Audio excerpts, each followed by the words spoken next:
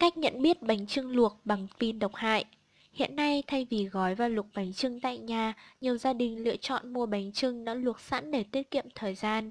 Đáp ứng nhu cầu đó, thị trường bánh trưng cũng ngày càng nở rộ, từ những cá nhân nhỏ lẻ cho đến những cơ sở làm bánh lớn. Có một thực tế là để rút ngắn thời gian luộc và làm cho bánh có màu sắc bắt mắt hơn. Người ta thường luộc bánh trưng bằng pin thay vì luộc theo cách truyền thống mất chục tiếng đồng hồ. Tuy nhiên, luộc bánh trưng bằng pin để lại những nguy hại tiềm ẩn cho người sử dụng. Bởi lẽ các kim loại nặng chứa trong pin như thủy ngân, thạch tín, trì đều là những chất cực độc gây nguy hiểm cho não, tim mạch, thận và ảnh hưởng nhiều đến khả năng sinh sản.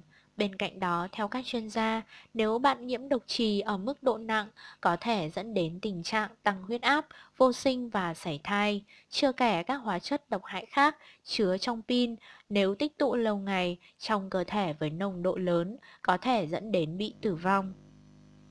Cách nhận biết bánh trưng xanh luộc bằng pin Về vỏ lá bên ngoài nếu vỏ lá bên ngoài có màu ánh tím hoặc màu xanh mướt thì nhiều khả năng đó là bánh trưng luộc bằng pin.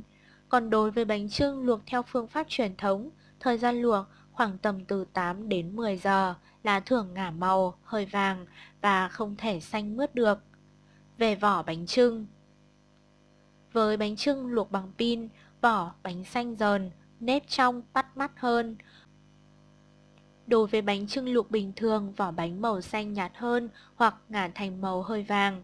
Nếp không được trong như bánh trưng luộc bằng pin. Về nhân bên trong, bánh trưng luộc bằng pin không được rèn vì ép chín nhanh nên không được dẻo, thơm mùi vị đặc trưng giống như bánh trưng luộc thông thường. Bên cạnh những cách nhận biết kể trên, trước khi mua bạn nên kiểm tra thật kỹ vỏ bánh. Nếu vỏ bánh có chút đen, cầm lên không chắc chắn thì có khả năng đã nấu chín quá nhanh bằng pin độc hại.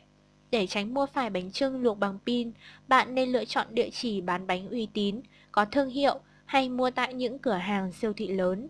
Nếu có điều kiện thì bạn nên tự gói bánh tại nhà và tạo không khí Tết đầm ấm, vừa đảm bảo bánh trưng sạch, được luộc theo phương pháp truyền thống.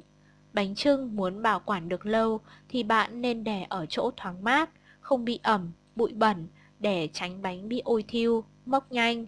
Tùy theo điều kiện thời tiết, bạn cần bảo quản cho phù hợp.